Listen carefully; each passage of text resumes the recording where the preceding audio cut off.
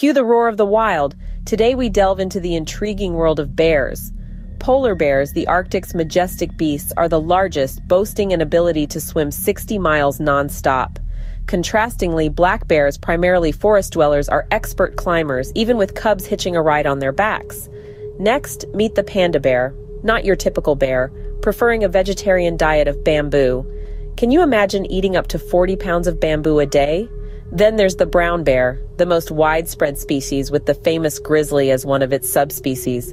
And who could forget the sun bear of Southeast Asia, the smallest bear species recognized by its crescent shaped chest marking? Every bear, a story in itself. Stay curious, explore more. Or